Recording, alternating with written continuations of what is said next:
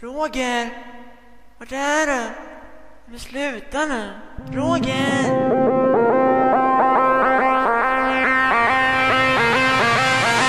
Det var en gång en liten fågel, ja en fågel Han bodde på landet och Roger hette han Han ville gärna leka med sina vänner, med sina vänner Men det fick inte vara en gång en liten fågel, ja en fågel Han bodde på landet